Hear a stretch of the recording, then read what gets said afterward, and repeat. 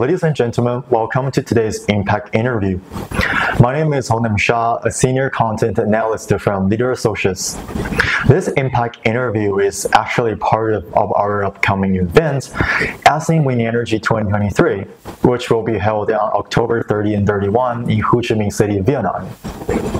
Norway has proven to be a valuable trade partner for Vietnam, with over 40 Norwegian enterprises operating in the countries and an investment of approximately 192 million US dollar. In fact, Norway has ranked 41 out of 141 countries and territories that finance project in Vietnam. In terms of the offshore wind sector, Vietnam and Norway share many similarities. Both countries have expansive coastlines, a strong presence in the fisher industry, and a firm political commitment to addressing the challenges of climate change. Therefore, Norway's extensive offshore experience, abundant offshore wind potential, and established energy industry, and all you guys in the renewable energy serve as a perfect example for Vietnam. The ongoing and future political cooperation between Norway and Vietnam in the area of capital investments, marine operations, and offshore operations will continue to be crucial in driving Vietnam's booming offshore wind sector. Today, we are honored to have the privilege of sitting down with Ms. Hilde Solbakken, the ambassador of Norwegian Embassy in Vietnam, for this interview. The ambassador will be participating in our physical event, ASEAN Wind Energy 2023, representing Norwegian Embassy. During his 15 minutes interview, the ambassador will share her interesting personal story related to Vietnam and shed light on Norway's successful experience in developing offshore wind project, establishing a supply chain, and facilitating Vietnam's offshore wind project growth by creating a healthy pathway for active collaborations between the two nations. So, Ms. Hilde Solbakken, uh, welcome to today's interview. And I'm really excited to begin our conversation by asking you some really in interesting questions about yourself. Um, so first of all, could you please tell us a little bit about your background and your role as the ambassador of the Norwegian Embassy in Vietnam? Yes, I've been part of the Norwegian Foreign Service for 26 years now, and uh, I've been posted pretty much all over the world started out in the Middle East, uh, in Amman, Jordan. Uh, I've been working in um, our embassy in Washington, D.C., and briefly our UN delegation in, in North America. And um, I've been posted to Nairobi in Kenya, uh, Africa. Um, and uh, but recently I've spent uh, most of my time um, in foreign missions here in Southeast Asia, in Jakarta, uh, Indonesia, and in uh, Yangon, Myanmar, before now finally uh, coming to Hanoi in Vietnam.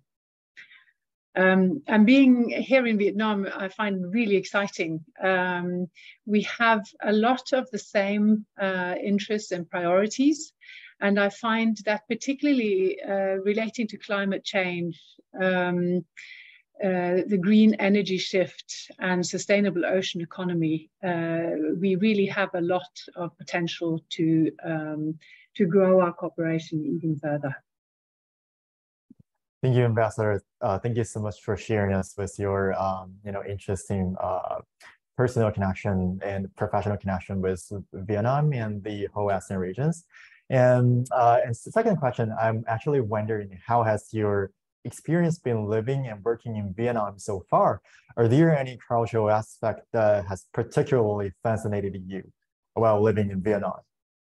It's really great to be in Vietnam. Um, my family and I, we, we all love it here. Um, so we enjoy exploring our neighborhood in, in Hoan Kiem in Hanoi and um, learning as much as we can about the, the very dramatic and fascinating history of, of Vietnam we try to travel as much as we can around the beautiful country and everywhere we find people are very very friendly and, and helpful. So we're really having a great experience here. Um, as to your questions of, of some aspects that particularly fascinates me i think in hanoi there are two things. Um, one is the the way that life just seems to kind of spill onto the the pavement, um, whether it's family life or, or all sorts of cafes and eateries or, or people's businesses. Um, it sometimes makes my walk to the office a little bit of an obstacle course. But mainly, I think it's the way that you, you can just feel the positive energy uh, of all the activity. Um, and I think that the second thing that uh, is quite fascinating, I think, for any foreigner, is to discover how much uh, can be done uh, with and on uh, SMI. it's quite some incredible things that I've, I've seen uh, uh, seen in the traffic here. Um, but all of this, I think, are, are, things that really make Hanoi a, a unique city. All right, thank you, Ambassador. And so lovely to hear that you're actually enjoying your life in Vietnam with your family. I hope you can still, you know, enjoy the rest of your time in Vietnam as well. Mm, and um, in terms of the uh, professional aspect, as we all know, like these um, Norway's years of experience in marine and offshore wind operations, uh, there is no doubt that Norway is in ideal position to contribute to Vietnam's expansion of its offshore wind market. And um, additionally, Norway has already proven to be a valuable trade partner with over 40 Norwegian enterprises operating in uh, Vietnam. So could you please outline the current financial support and ongoing cooperation provided by Norwegian government to support Vietnam's marine spatial planning and the other offshore wind uh, power aspect? Mm. Yeah, so when it comes to financial support, uh, most of Norwegian support now goes through some of the global, the big global funds. Uh, so the Green Climate Fund and the Global Environment Facility. Um, but also, of course, as you mentioned, the private sector is very important and they are ready to invest at scale and long term in the energy sector in, uh, in Vietnam. Um, we when it comes to direct support, we are supporting a project through UNDP on marine spatial planning to develop a, a legal and policy framework and then to have um, uh, pilots in some of the, the regions. Um, another very important part of our profile in Vietnam um, is our participation in the Just Energy Transition Partnership, together with the G7 countries and Denmark. Um, and uh, this really should help to enhance the shift to renewable energy in Vietnam. Um, as with any new industry that's developing, uh, offshore wind is going to require new regulatory frameworks. and that is also an area where we engage closely with different parts of uh, Vietnamese government and, and, uh, and private sector.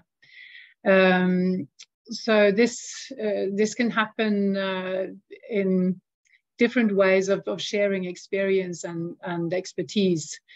Um, on the policy dialogue uh, level uh, with exchanges of visits and delegations and so on. Um, but also institutions, um, Norwegian institutions like the um, Marine Research Institute and um, the Directorate for Water Resources and Energy, uh, Meteorological Institute, they cooperate with their Vietnamese counterparts uh, and share more technical uh, information and experience. Um, but then again, a lot of the expertise on offshore wind sits with the private sector. Um, and they are also strongly engaged here in Vietnam in, in sharing their expertise. Um, some of the concrete uh, questions that we are sharing our, our experience on are how to identify areas suitable for offshore wind um, and the measurement of wind speed uh, based on meteorological data. Also, again, uh, relating to marine spatial planning, when how to manage that type of process uh, that really needs to include all the stakeholders. Um, finally, I'd like to mention that we are together with international partners and, and with Vietnam, Norway is taking the lead on drafting a supply chain report I think this will be very important in helping to identify opportunities uh, both in the north and south of Vietnam relating to the development of the offshore wind sector. Thank you, Ambassador. Um, in order to strengthen the partnership and create the clear pathways for investments by Norwegian energy firms or um, the private sector, as you mentioned. So what do you think are the optimal course of actions for the Norwegian business and ventures to invest in the energy project in Vietnam, particularly in the area of offshore wind power, um, hydrogen production, and beyond? Mm. Well, a lot uh, depends on what happens here in Vietnam. So the approval of the um, Power Development Plan number eight is a very important step. And hopefully uh, that approval will also clear the way for uh, other policy decisions and um, more detailed regulatory frameworks that are necessary for the companies to go ahead with their investments.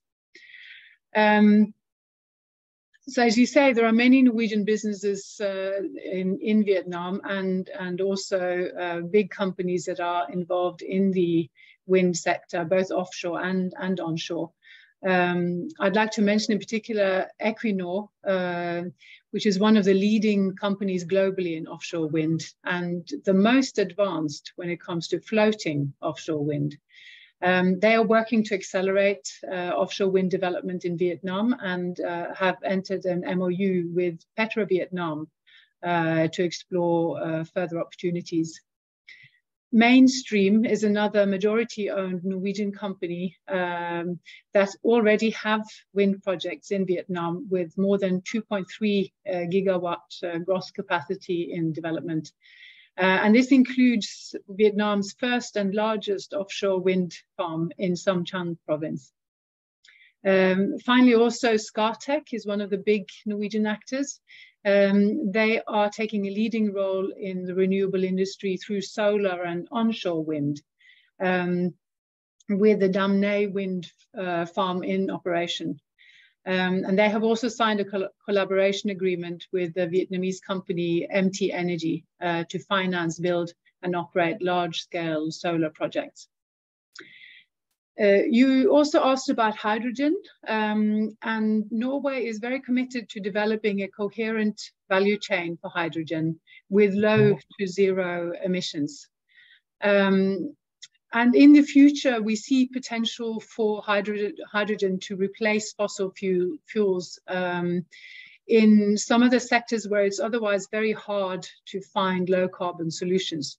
So for example, in the steel industry um, and when it comes to transport sector, particularly the maritime uh, sector, which is of course very important both for Norway and uh, Vietnam. Um, but we also know that there are still a number of, of um, technical uh, developments that are necessary uh, for this sector to really take off and to um, reduce the costs. So we see this as being somewhere into the, into the future still. And it's also going to take a lot of international co collaboration to make sure that we can actually develop an international market uh, for hydrogen. Thank you, Ambassador. Thank you so much for sharing the specific um, you know, information about the leading uh, Norwegian cooperation that has uh, been playing an instrumental role in uh, contributing in Vietnam's wind sector. And um, as we all know that Norway and Vietnam uh, also shares uh, a lot of mutual geographical advantages in terms of uh, expensive coastlines and extraordinary wind conditions. So as a leader in the wind energy industry, uh, what valuable lessons can Norway um, share with Vietnam to consolidate Vietnam's global wind supply chains and facilitate the technological cooperation? As you mentioned, technological uh, cooperation is actually a core part of um, the consideration of Norway. Mm. Yeah, I think Norway and Vietnam actually both have um, very good starting points here. The experience that we have from the oil and gas sector and the supply chain uh, linked to, to oil and gas, a lot of those skills are transferable to developing an offshore wind sector as well. Um, of course, in Norway, we also uh, put a lot of emphasis on sustainability throughout uh, throughout these sectors and, and, and through all our innovations for the sector. Uh, and that again goes for the whole value chain. So whether it's about green port infrastructure uh, or already in Norway now hydrogen powered service vessels to sub um, and then also subsea inspection robots. Um, so we're very proud in Norway that we really have already a, a complete value chain for offshore wind. And, uh, and we are very keen to work with Vietnam uh, to also develop this, this whole sector um, and, and seeing how Vietnam could make use of all the human capacity and technology and meteorological and geological data, uh, as well as institutional capacity that, that comes from this experience from, from oil and gas. Uh, Vietnam really has a comparative advantage here uh, over countries with, without that uh, previous offshore experience. Um, if I were to point out some key uh, lessons from the Norwegian experience um, in developing offshore wind, I would highlight, first of all, learning by doing. Uh, I mean, this is the new sector, um, but we can, we don't have to have all the perfect systems before we, we start moving. Uh, we can learn through a phased approach uh, where we give ourselves time to learn and adapt from one phase to the to the next. So in other words, um, we've found that it's, it's, impossible to try to have a perfect database and, and perfect knowledge before we start. Uh, mm -hmm. You mm-hmm. really don't gain that knowledge and understanding until you try. I think the, the second lesson I would highlight uh, is to ensure the engagement of all stakeholders from the start. Um, so this would be, of course, the, the, uh, the, government and the industry, but also particularly academia and, and sci scientific uh, institutions. And um, you will probably hear echoes here of, of, the approach to marine spatial planning, where, where we also um, put a great deal of, of emphasis on, on, on inclusiveness. Um, finally, uh, I would like to highlight the importance of developing uh, local supply chains uh, for the sector uh, as, a, as a crucial enabler for developing offshore wind. Thank you, Ambassador. And I think all of your you know, suggestions and the kind of sharing from the experience of Norwegian development of the wind sector would definitely be a really valuable and um, meaningful reference for the Vietnam's development. And I totally agree with you. It's um, always valuable for the industry to you know keep practicing while learning because that's the really ideal and mature way to uh, develop its own supply chain and um, technology solutions.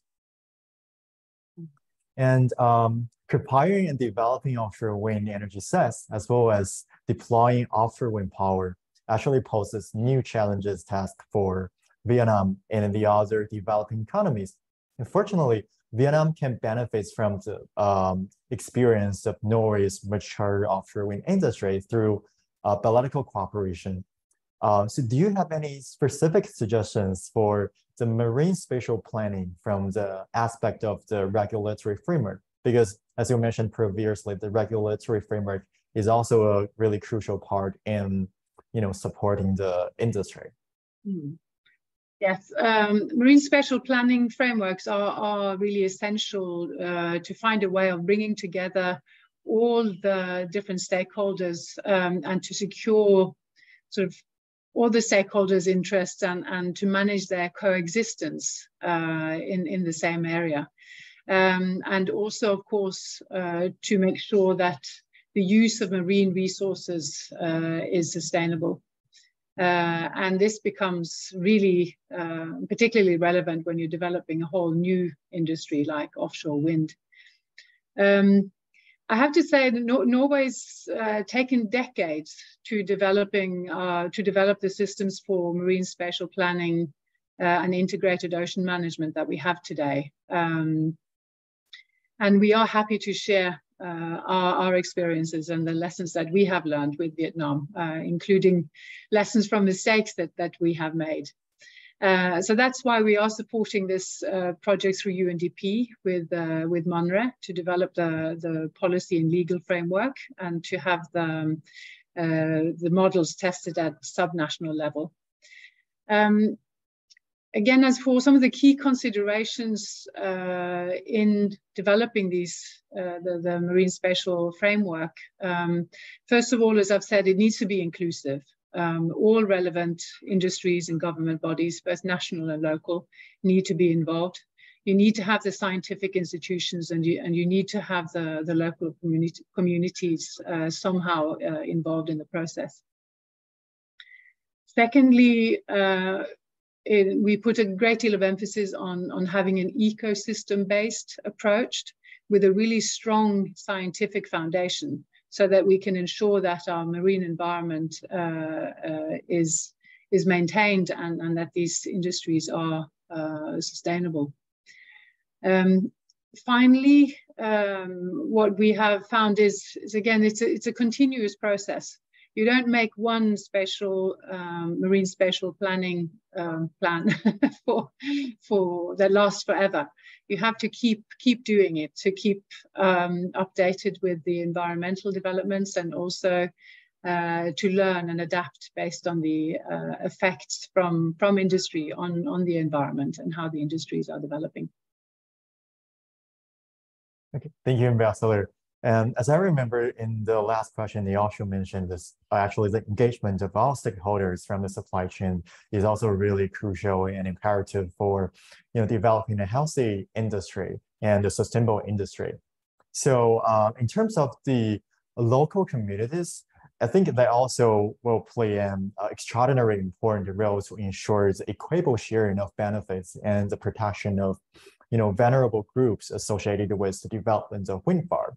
So can you please share uh, Norway's successful experience in not only protecting the benefits of local communities, but also enabling them to benefit from the um, actual development of this large-scale onshore or offshore, offshore wind farms?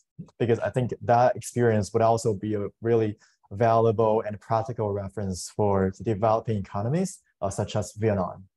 Mm, yeah. I think uh, one point is to uh, start by trying to avoid uh, conflict with local communities. And um, one way of doing that is having the offshore wind farms really as far offshore as is possible. Um, because you also want to have as big as possible uh, wind farms to get the costs down. Um, nearer to shore, we know there are there's a lot more competition, a lot more different activities. So to keep the, the offshore wind as far out as possible is, is a good way of, of avoiding any conflict to start with. Um, then the um, when it comes to the, the positives are the benefits. Um, uh, the supply chain for offshore wind uh, has the potential to, to create a lot of economic growth in local communities um, and to make sure that that happens, to have these discussions between the national level and uh, uh, local authorities and business from the start is, is really a key.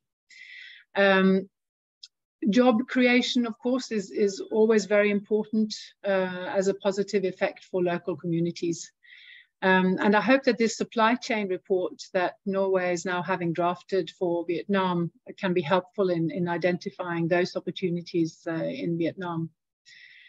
Um, so when we're talking jobs, of course, to be able to take up those jobs, then you need to have the skills. So, so training, I think, is a very important consideration as well in, in the early phases. And, and here, I think local communities and the businesses who want to invest really have a shared interest in making sure that uh, relevant training is provided for, for the jobs that will be needed. Thinking about that, I also agree with you that training is actually so important for you know, not only making the local community be aware of what the um, wind industry is really is, but also make them be able to substantially benefit from working in this industry. And um, Norway is a member of the uh, International Partner Group and the Just Energy Transition Partnership, known as JETP uh, for Vietnam.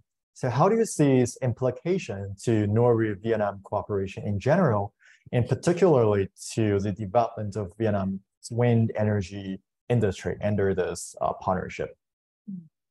Well, I think the JETP, as we call it itself, can be um, contribute very positively to the wind energy sector in Vietnam. And as part of that, that Norway-Vietnam cooperation um, will also be, be important.